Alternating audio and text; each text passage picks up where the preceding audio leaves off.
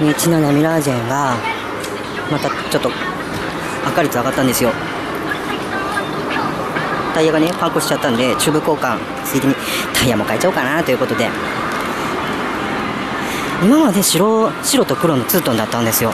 あのデフォルトは白と赤センター白の横赤のツートンだったんですけどあのちょっと変えようかなと思って丸亀で白と黒に変えてから随分あのイメージ変わっちゃったと変わっちゃってたんですけど今回またタイヤ変えて今度はじゃあ黒赤にしてみようかなと。前白赤だったやつあ白黒だったやつの白の部分が赤。デフォルトに戻そうかなとも考えたんですけどね。デフォルトちょっとタイヤの質がいまいちなんでかといってこれがいいタイヤかっつったらそういうわけじゃないんだけど。であのー、去年ドロップハンドルをデュアル化デュアルレバー化するときにねちょっと赤率上げた感じだったんですけどタイヤも赤になって随分とイメージが変わっちゃうんですね。今メンテナンスが戻ってきたばっかりでまだ目が慣れてないんですけどね。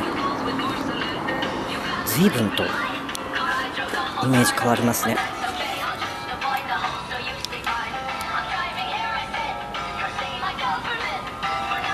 217ミラージェンね結構気軽に毎回タイヤのあのカラーリングを変えて着せ替えを楽しんでるんですけどね。変わりますね。あのー、デフォルト元の赤率に戻っだいぶ近くなって戻ってきてるんですけどね。こんなにこいつ赤かったっけって感じなんですよね。これはこれでいいですね。あのねあのー、こいつの大きいバージョンがドッペルギャンガーの D12 スピードメタルっていうのがあるんですけどあれがねディープリムリムの部分がかなり派手な赤なんで周り赤にすると D12 スピードメタル私メタスピって言ってるやつですね。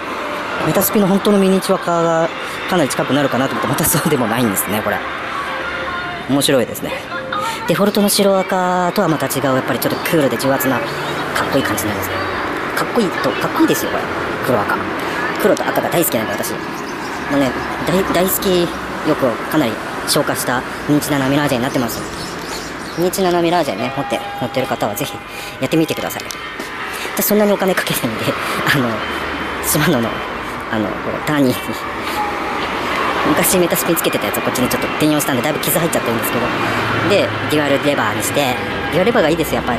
ドロップはねちょっと普通のよりちょっと幅のちっちゃいミニチュアバージョン感をミミニチュア感を出そうとしてちっちゃいのつけてますね。こいつはやっぱりドロップじゃなきゃダメ。でタイヤがこんな感じですね、うん、楽しいですね。楽しいです。道のミラージュも楽しいミニベロよく走るんですよ。よく走るしよく止まる。なんだって。こいつはもうこれがこれがディスクブレーキがあるんで楽しさが全然違いますというわけで、えー、ミラージェンの返信報告でした。ちらっと走ってきますよ。